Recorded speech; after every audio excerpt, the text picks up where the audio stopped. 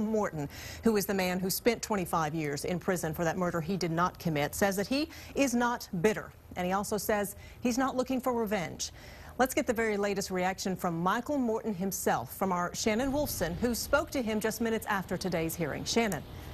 Leslie, he says he's not bitter or vengeful, but Michael Morton is looking for justice. And for the first time today, he talked a lot more about what he's lost. I lost all of my son's youth. He's 28 now. Uh, that's all gone. A lot of other things are gone. My relationship with my in-laws. Uh, in about a quarter century of my life. And yet, this is a good day. A good day indeed. For the first time in more than 25 years, there are no murder charges hanging over Michael Morton's head. He's still limited about what he can say publicly, though, because he is now very likely going to be a witness in the murder case against Mark Norwood, who is now charged with Mrs. Morton's murder connected to that scene through DNA.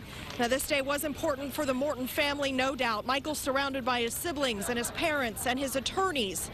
But they are quick to point out there is a long road ahead to justice. As you heard Chris mention earlier, they want this public investigation into why evidence was not turned over that could have prevented this wrongful conviction.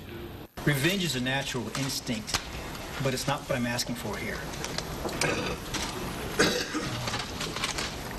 Just accountability.